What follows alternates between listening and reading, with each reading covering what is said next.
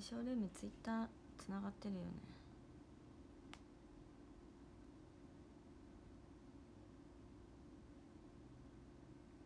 うーんと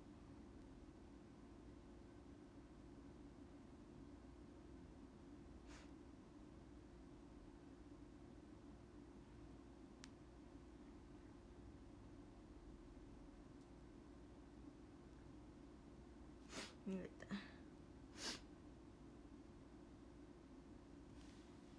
なんか充電取れた。ほんだよし来た。大丈夫ですかね？あのあツイートされてる。ごめんね田辺さ喉乾燥してて。この間メールでも言ったんですけどあのメール？メールで言ったんですけどあの寝落ちしたんですよ。寝落ちして寝落ちしたらその時暖房もつけっぱなしでそしたら喉をやられちゃって乾燥で。ちょっとたまにむせてるんですけど全然気にしないでください。本当にね今もねエアコンの前にいるとちょっとたまにむせるんですよ。そう乾燥してる時に最近咳出るんですけど大丈夫なので元気なので。熱も全然出てないので安心してくださいそこは。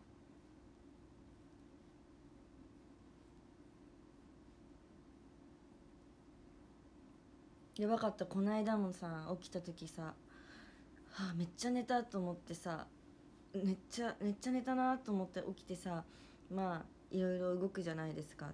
生活するために。動いてたらめっちゃなんか「あやばい。喉が喉が」みたいな。喉がみたいな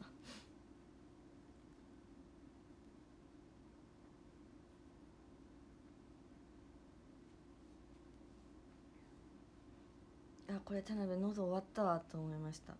終わったんですけど。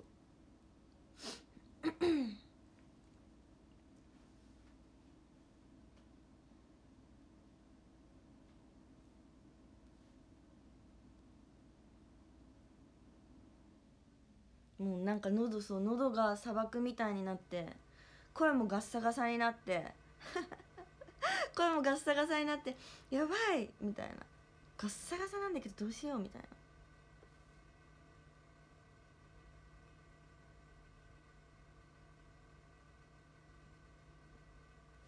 書いとこうかな。なんか田辺がさこのショールームしてる時にさ咳してたらみっちゃんなんか具合悪いんじゃないみたいな。全然乾燥なんです。本当に本当に乾燥なら寝落ちのせいで声がガラガラ。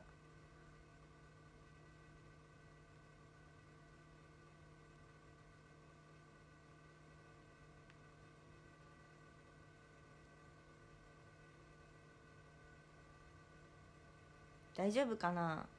言わなくてもいいかな？なんかすごい音鳴ってんだけど。気にならない？ちょっとじゃあちょっとむせる時失礼失礼って言いますね。それでいいか。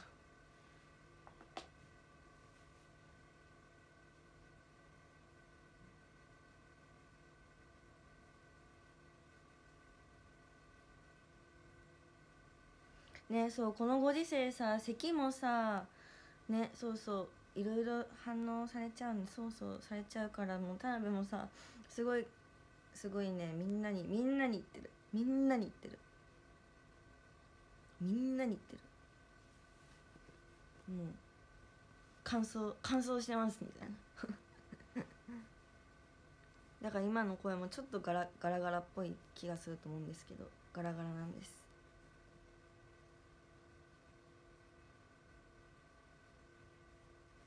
アメちゃん舐めながらでもいいよな。アメか。噛んじゃう多分。喋ってる時にやったら。今日ね蜂蜜蜂蜜の飴ねお家にあるから寝る前とかに舐めて寝ますね。なんかちょっと太ったかなやっぱ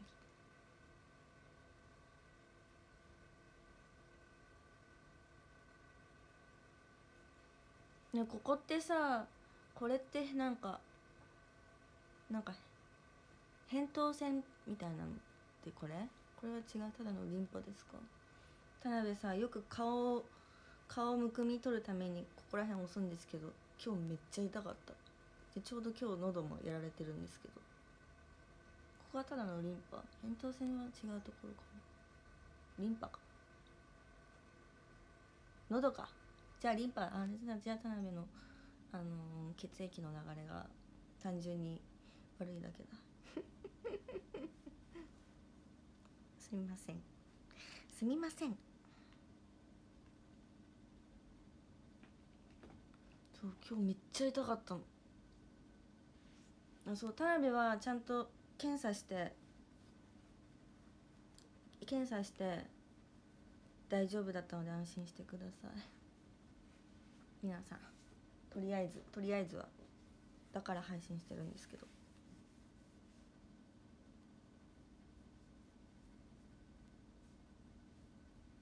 え今日の髪型可愛いよね。ねじりハーフツインしたんです。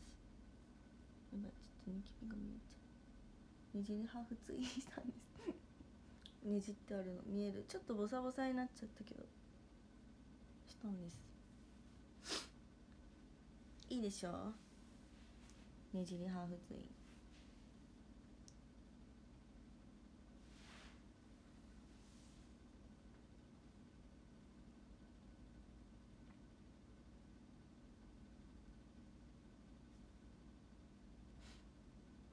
目が痛い。最近女の子っぽい髪型するのハマってるっていうか田辺がもう服の趣味が女の子になった大人。アイドル髪 なんかすごい言いたいこと渋滞していっぱい噛んじゃった。あの何から言おう。これ田辺あるある。なんか言いたいこといっぱいありすぎて噛んじゃう。なんだっけ？えっと落ち着け。えっとまずそう。何から言おう。あそう。服の好みが変わったんです。服の好みが変わったんです。そう。そう。ちょちょっと忙しい。ごめんね。お口がちょっと忙しかったわ。そう服の好みが変わってなんだっけ。ちょっと大人っぽい大人っぽい女の子らしい女性らしい服が好きになった。年齢が年齢を重ねたからかしら。重ねたからかしら。でも今日はピアスいっぱいハートつけてる。これでもかっていうぐらいハートつけてる。服の系統が変わりました。でも前着てた服も全然着る。大人っぽい大人っぽい服が好き。カジュアルも全然着る。大人っぽい服が好きになった。女性らしい服も興味を持ち出して自分でいろいろ見るようになったし大人っぽい服に興味を持ち出しました。持ち出したっていうか大人っぽい服になった。好きになった。だからもう着れななんか最近もう着れないなっていう服がいっぱいある。結構水木って服長年愛用するタイプなんだけどなんなら なんなら56年ぐらい全然愛用するんですよ。普通なのかな？どうなんだろう？56年愛用するの結構結構長い間愛用するんだけどそれがプチプラな服でも。するんだけど67年ぐらい愛用するんだけどうん。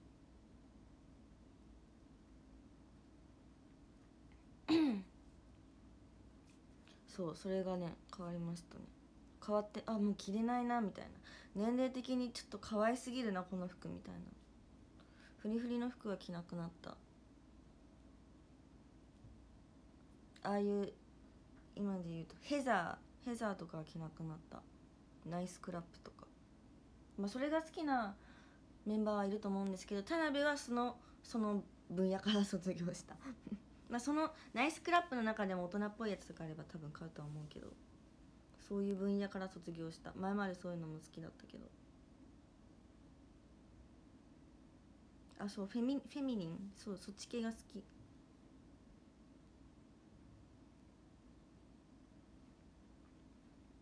田辺のお洋服はいつも中坂にプレゼントしています。10期にあげようって言っても10期10期の子みんな背高いんだもん。中坂同じくらいだからさ。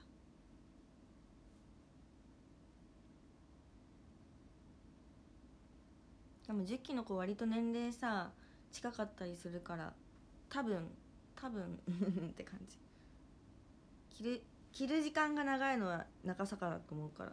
中坂まだ年齢幼いし高校1年生2年生だから。1年生か。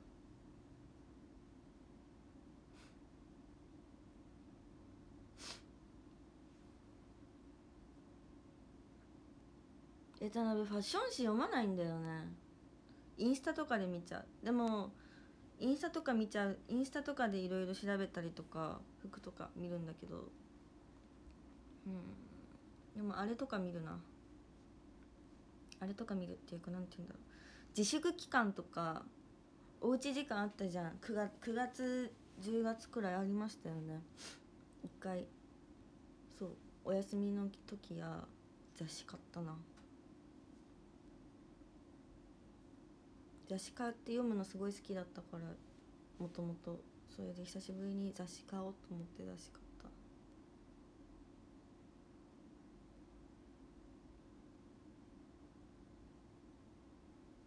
美容院行った時はもうありえんほど読む。もうもう美容師の方話しかけないでっていうぐらいもう集中して読む。ぐらい読みます。全然話しかけてもらったら全然話すんだけどでもめっちゃ集中して読んでる多分。多分こんな雑誌を集中して読む人いないと思う。それぐらい集中して読んでる。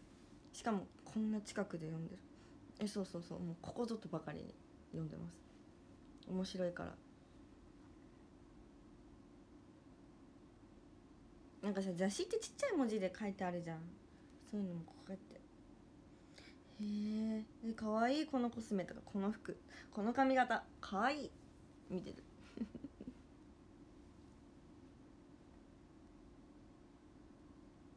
ね思ったね。バンズのさ靴って今流行ってるんですか？かわいいよねバンズ。バンズの靴って流行ってるの今。なんかすっごい履いてる人見かける。田辺新潟帰ったんですけど。帰ったんですけど。新潟帰ったんですけど帰った時にバンズ履いてる子多くて。新潟だけバンズ履いてんの。メンバーでもたまに見るけど。えそう田辺ってね一つのことに集中したら他のことできないタイプなんですよ。本当にそう。だからさ家にさいる時とかお家にいる時とかもさ普通にさ お母さんからしたらなんだよって感じだけど普通にお母さんとの会話してる時にお家でダラダラしながらねお母さんが台所でなんかいろいろ作業してて水木が座ってちょっと休んでる時にあメール送んなきゃと思って話してる途中にメールを書き始めてそしたらもうお母さんの言ってることが頭に入んないんですよ。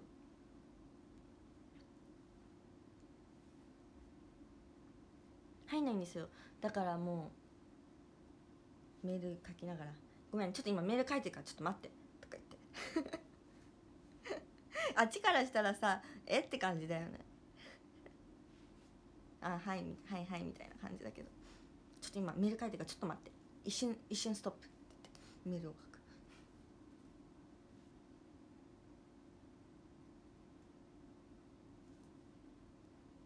かゆいおでこ。書き方。前髪固まってるから。こうやってしか描けないのおでこに。おでこ。髪の毛なんかかかっ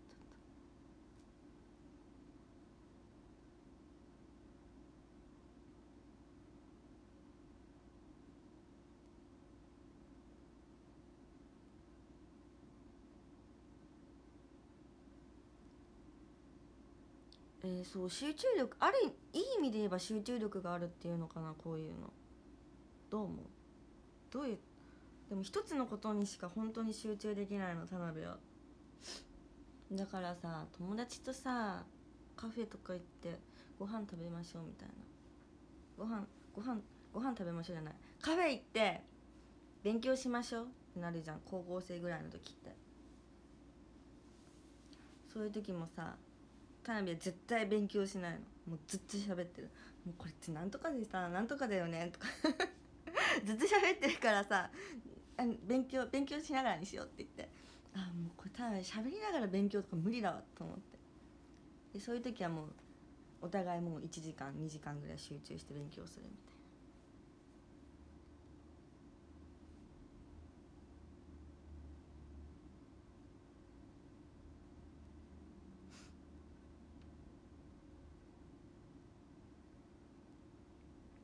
な。あきおめことやろことやろ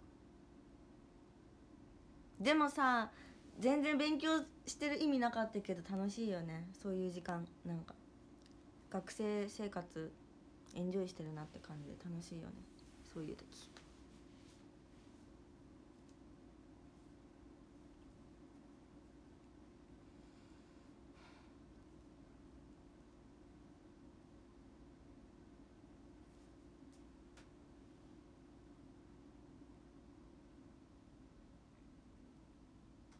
青春ですね。皆さんのさ皆さんの学生時代何流行ってた？田辺の学生時代。なんか帰って帰ると大体さそういう地元に帰ると小学生小学生の話かもしない。中学生高校生ぐらいのあたりの話をするんだけど田辺の田辺たちの流行ったのはこれ中学生ぐらいなんだけどバックナンバーさんがめっちゃ流行った。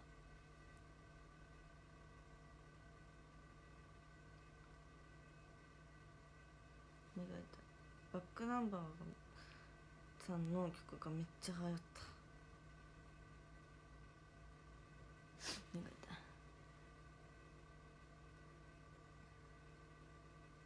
クリスマスソング。音楽何分かれた？音楽何分かれててない音楽何流行りました？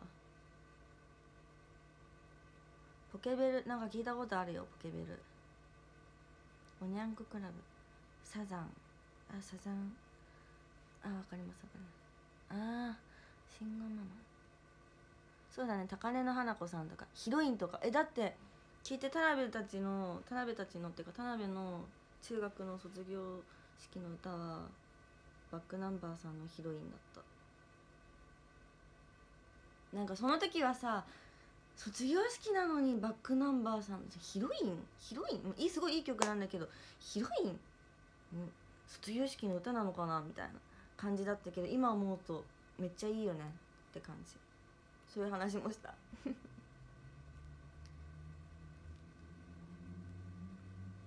新潟にぴったりですね。雪が綺麗と笑うのは君がいい。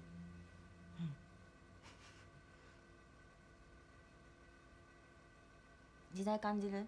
おしゃれでしょ？そう田辺たちのさ中学の卒業式おしゃれだったのバックナンバーさんのヒロイン。退場の曲がね。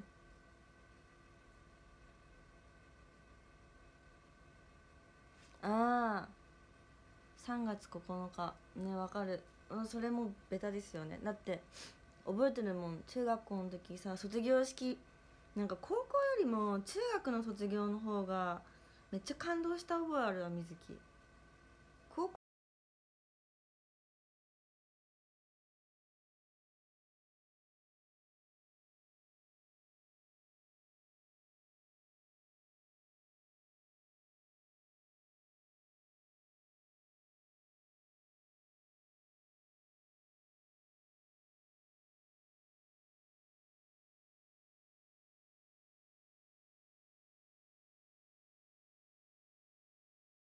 9日歌って歌って号泣してたもん。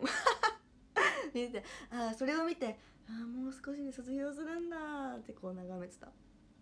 めっちゃ、うん、めっちゃ歌ってて。女の子ね。元気な女の子たちが歌ってて廊下で。他のクラスの。歌自分たちで歌って自分たちで泣いてる。可愛いよね。めっちゃ泣いてて「何泣いてんの?」みたいな。でもそれを見て水木はああもう少しで卒業式なんだなって思った。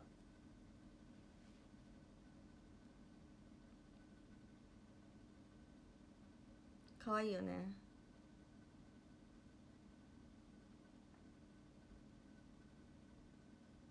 え田辺もね 田辺ね田辺もらい泣きするタイプの人だから もらい泣きするタイプの人だから卒業式我慢してたの。まあちょっとうるっとは来てたけど。旅立ちの日に歌ったんですよ。あれで。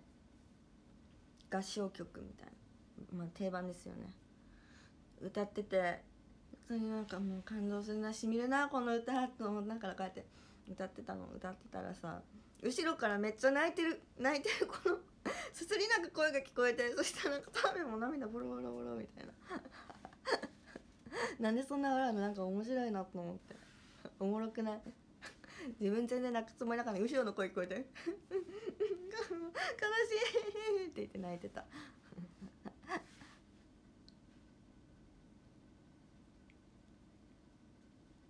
そうもらい笑いもめっちゃするんだよね。なんか多分人に影響されやすいんだと思う水木つられる。何でもつられる。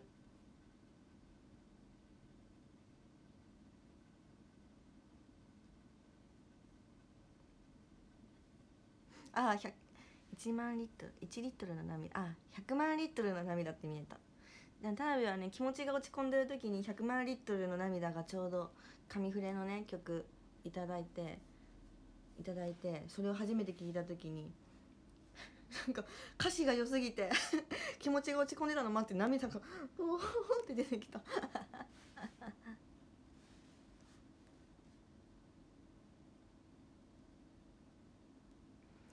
あそうなの？友人の結婚式のために作った曲なんだ。あ確かに。え卒業式の歌でもでも今卒業式の歌としてめっちゃあれじゃない？けどねその話の？いやおもろいなと思って。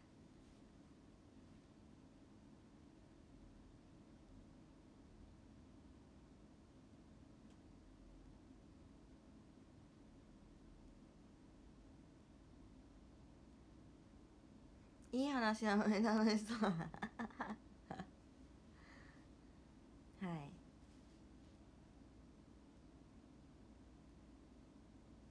そういうのもあったね。懐かしいよね。もうめっちゃ盛り上がるよね。中学時代の話とか。今だから話せる話とかいっぱいあるじゃん。田辺ぐらいの年齢になると。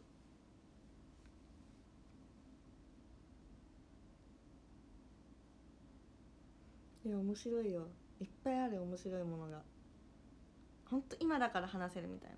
高校生ぐらいの時はまだ話せないけど今中学を卒業して56年ぐらい経ったからこそもう話せるみたいな。そういうのを友達と話してね笑ってた。こんなのあったよねってって。しかも田辺大体覚えてないんだよね。覚えてなくって言われてしばらくしてからあったねって思い出すタイプ。記憶力ないのかな？奥底に片付けちゃうのかな頭の。めっちゃ奥。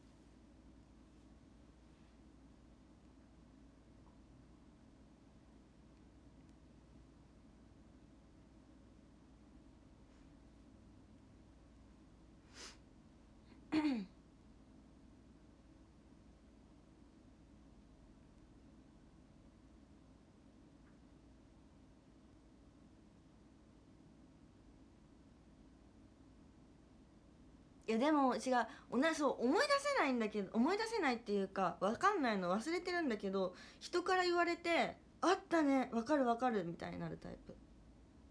そういうタイプです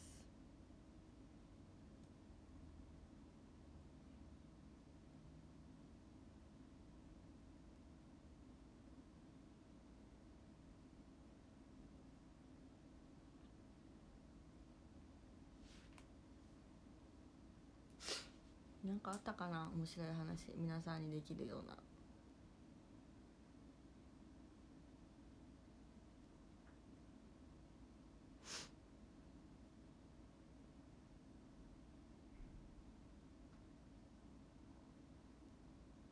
面白い話あったかな？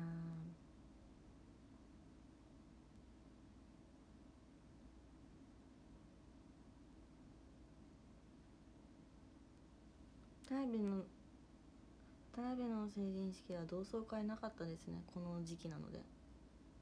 さすがになかったな。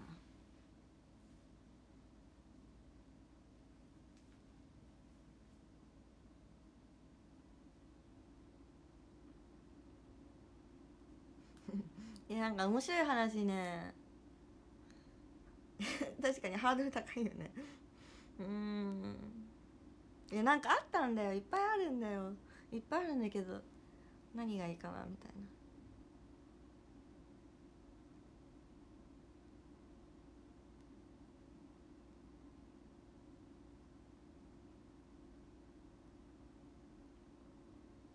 あそう成人式の時のねそう着物の写真すっごい褒められるのみんなに。嬉しい。ありがとうございます。でもあの時の田辺の状態良かったよね。状態？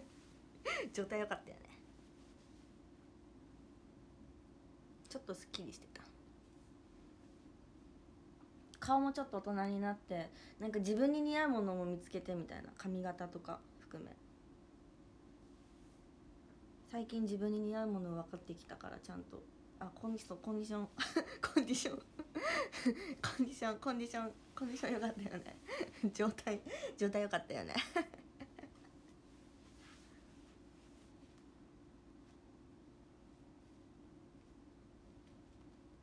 田辺はやっぱり髪の毛長い方がいいなと思う。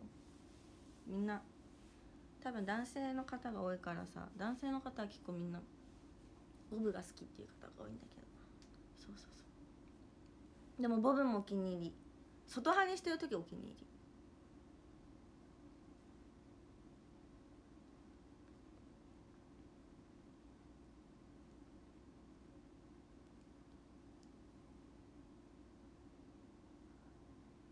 むず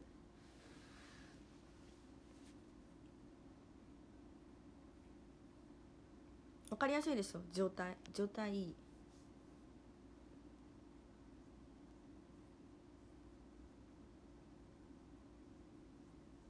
今髪長く見えない。うん。田辺のこの巻き方にもこだわりがあって。田辺はねまあ皆さんに言ってもなんかへえへえって感じかもしれないんですけど。そう見つけたからすごい言いたいんですけど。田辺はあんまり上から巻くのが似合わなくて毛先の方だけゆるって巻くのがいい感じ。そうパフォーマンスで入るのはやっぱロングなの。ロングだしやっぱりアイドルしてる感あるのロングなんだよね。自分のモチベも上がる。へえほら興味なさそう。やっぱり興味なさそう。やっぱり興味なさそう。やっぱり。やっぱり。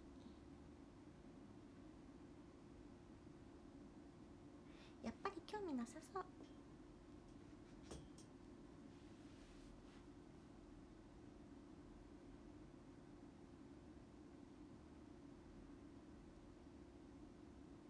全然いじけてないよ。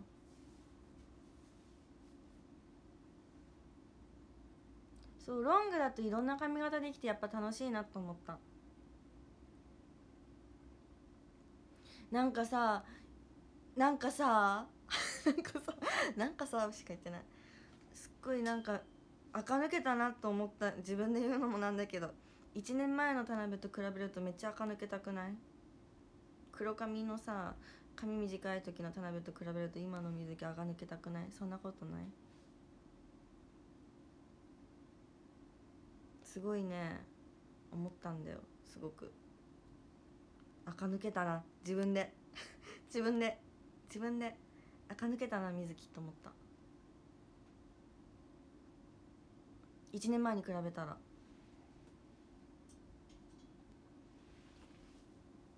あれ？あんま変わらん。あれ。あれ。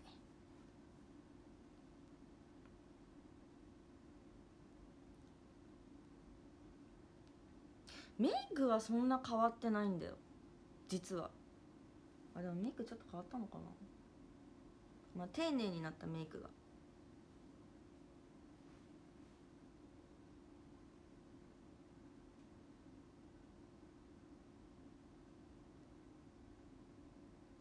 初期はさもう初期から比べたらそりゃ垢抜けてなきゃいけないの。垢抜けてなかったら嫌でしょ。赤がいっぱいついてたら嫌でしょ。それは嫌だ。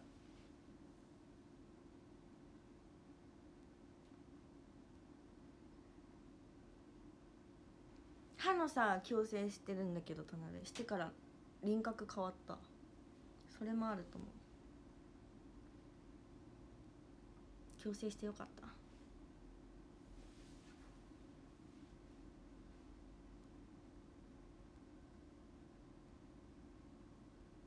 言われるお母さんにも言われる。輪郭変わったよねあなたって。矯正してよかったね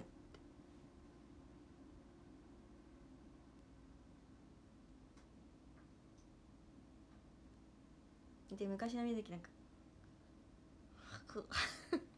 歯が出てる笑い方だった。今できないけど今も引っ込んじゃったからできないけどすごいねできなくなった。歯出てる笑い方。そう引っ込んだ。歯が引っ込んだ。別に歯並び悪いわけじゃなかったけど。顎が出ました。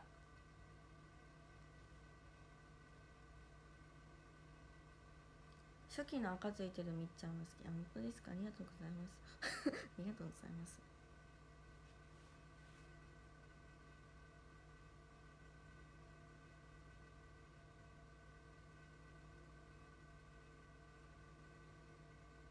めっちエアコンがカラカラやってる。そう田辺歯出てたんだよ。田辺ね歯出てたの。昔歯出てたの田辺。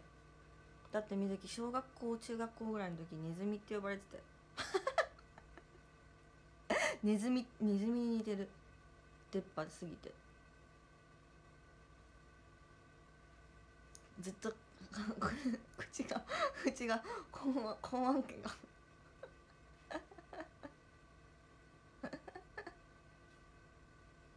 ネズミって言われてたから小学校の時に。ネズミって言われたからもう前歯ちゃんと閉じなきゃと思って口前歯って口閉じなきゃと思って口閉じるようになったら言わな言われなくなったけど。もしもしネズミネズミって言われている方がいらしたらちゃんと口閉じるようにすれば言われなくなるので試してみてください。えなんかあるじゃん。小学校の時って。そういうさなんかバカにしてくる子とかいるじゃん。小学校の時で言われた。あるじゃん。なんか「あお前なんとかみたいだな」みたいな「お前なんとかだな」みたいな。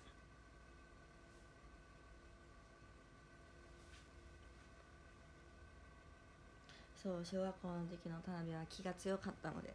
言い返してましたね。なんて言い返したか忘れてたけど忘れたけど言い返してた記憶はある。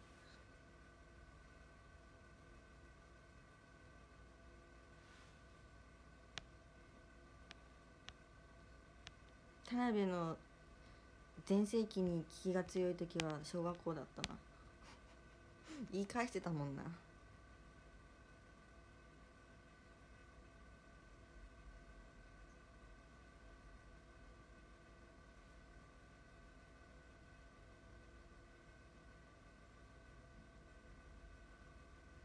気が弱いっていうか別にそこまで言わない。なんか言われても言われてもえー、子供だなみたいな感じじゃない？中学生ぐらいからそう思っちゃってたね。子供だなみたいな。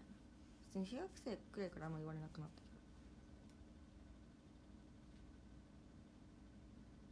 けど。でそういうのってさ黙ってたら言わなく言われなくなるものじゃん。え多分小学生の時の田辺は掃除しない男子に怒ってました。怒ってました。はい。多分怒ってた。きっと怒ってた。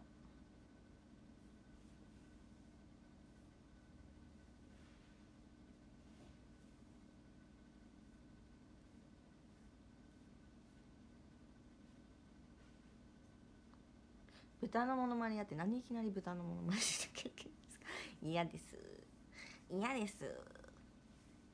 豚になっちゃう鼻が。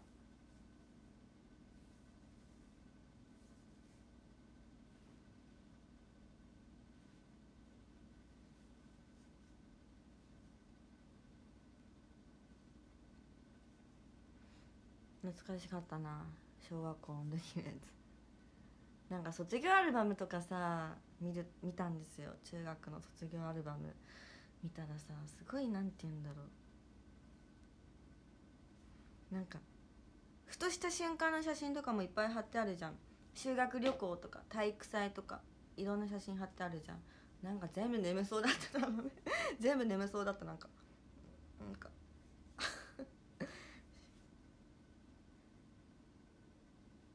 めっちゃ笑ってすごいいい友達と話してていい笑顔のやつもあったしすっごいなんかもうなんかなんかうんみたいなちょっと疲れる行事があったんですよ。